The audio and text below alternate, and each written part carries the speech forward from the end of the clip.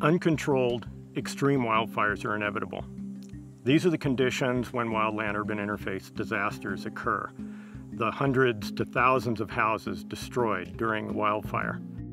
Does that mean that the wildland-urban interface disasters are inevitable as well? No. We have great opportunities as homeowners to prevent our houses from igniting during wildfires.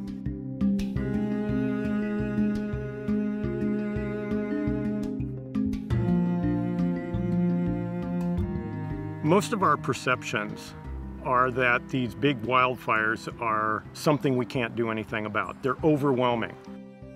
If huge organizations can't control the wildfire, how is it that somehow I can do something to my house to keep it from burning down?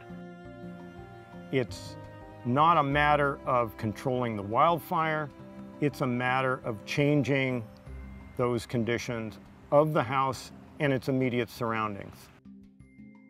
There's a lot that we can do to the little things to our house and its immediate surroundings in order to reduce the ignition potential of that house.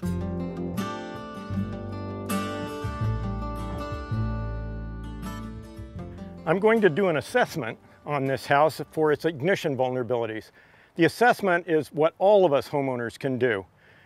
Currently, we're not in fire season, but it's getting hot and it's getting dry, so this is a perfect time before the smoke's in the air to do this assessment.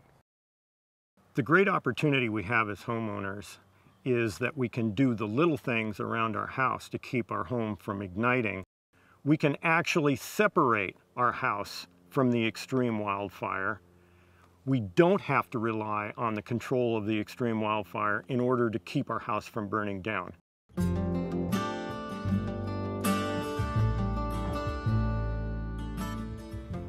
Over the last 30 years, my colleagues and I have done research involving laboratory experiments, field experiments, and post-fire disaster assessments to, to quantify and qualify the relationship between a wildfire and a destroyed home.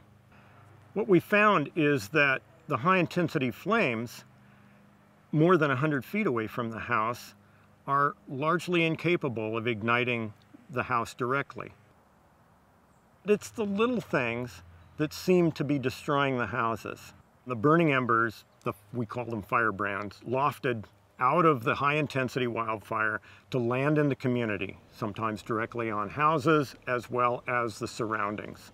It's not 100 foot flames, it's a pile of firebrands that would fit in the palm of our hand. So my colleagues and I designed a firebrand, an ember shower demonstration. We have a full-size house. It's got bark mulch and pine needles around the base. It's got pine needles in the rain gutters. It's got pine needles on the roof. We have an ember generator that then casts a brand blizzard at this house.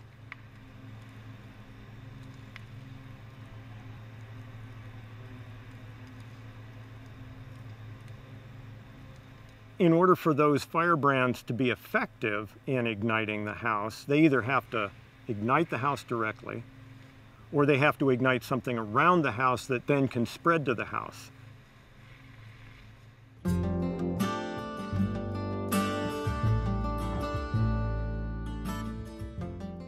The main factors determining this home's ignition potential are right here. The home's characteristics related to its immediate surroundings. For our assessment, our perspective changes to this house being one of fuel for the potential ignition. Look around your house and see where the litter, the leaves and the needles have piled up and visualize that that's going to be where firebrands begin to pile up and, and collect. So here we have pine needle litter right up next to the house. It's on the steps, it could ignite and start this wall and step area on fire. It also can ignite on this lathing, which is right up underneath the wood shingle siding, and ignite that. This doesn't burn with high intensities, it burns with low intensities. but it's extremely important. In fact, on this house, it easily could be the critical factor that leads to its total destruction. If this house had rain gutters, this litter would be in the rain gutters, potentially igniting and putting flame right up at the eave line, potentially igniting the roof and going into the attic. On this side of the house, what our attention should be on is this gable vent. It's the most exposed kind of vent. I notice that it's got fine mesh screen, which certainly helps keep large firebrands from going into the attic and potentially igniting this house. One of the things we looked at were vents during the brand blizzard. The brands are directly impacting that vent opening the burning brands can blow right into the attic and potentially ignite the material that's in the attic. The remedy is simple. All we have to do is use finer mesh screen to cover the openings. One of the important aspects that we demonstrated was that you don't have to have a metal roof in order to keep the house from igniting from firebrands. What we showed was that any roof that doesn't ignite and spread fire can survive the brand blizzard. So as we previously demonstrated, composition shingle roofs with pine needles on them don't represent a significant ignition problem. But look here, we've got a wood-sided wall coming down to the top of the roof where this needle deposition when it ignites, is going to put flame contact right on the side of the wood wall.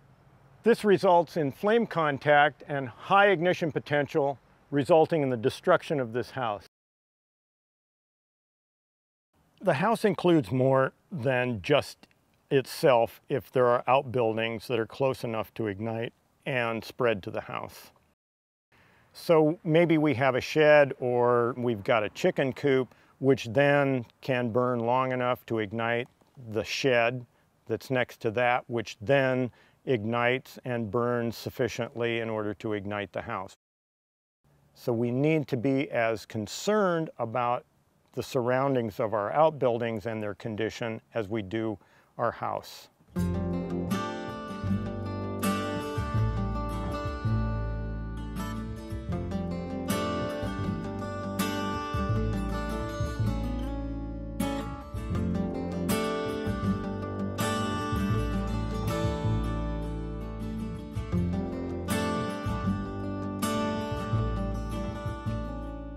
I looked into landscaping, I looked into fireproof home building, I looked into fireproof uh, lawn furniture. I mean, I was going for everything that I could for the safest fire safety you could. And we had a checklist. No firewood stacked next to the house. All of our lawn furniture was fire rated. I wanted to feel like if there was a fire, we had the absolute best chance possible of us and our house surviving. So some of the little things that begin to get a house during a, an extreme wildfire from the firebrands are, for example, something as simple as a broom being left out. Flammable deck furniture, where we've got flammable cushions on, on the furniture on the deck next to the house.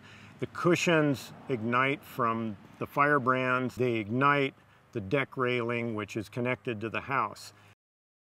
We put three foot of uh, rock siding all the way around up the house, as well as in our landscaping three feet out of crushed rock.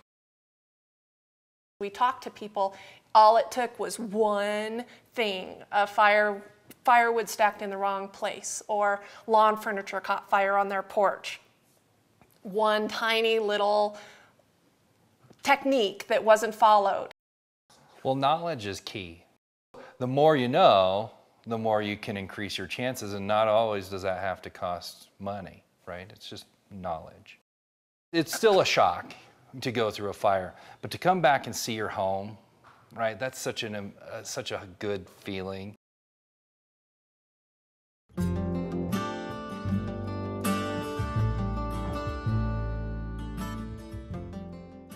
Flame contact on the house is a really bad idea. What we want to make sure of is that we don't get flame contact on the house. We don't have a fire burning across pine needle litter, for example, and making direct contact with the house. But that only takes five feet around the house in order to keep the flames away. Let's take a look at the surrounding area of the house. Adjacent to this wood wall, we've got these green shrubs. So the question is, are these green shrubs a big problem and do they have to be removed? Well, as long as we've got green foliage without dead material, we're pretty good. But if we take a look, we've got dead material in the canopy and we've got dead material deposited under the wood wall. What we want to do to keep the shrubs is to prune out all the dead material within the canopy as well as underneath in order to keep the wall and the shrubs from igniting.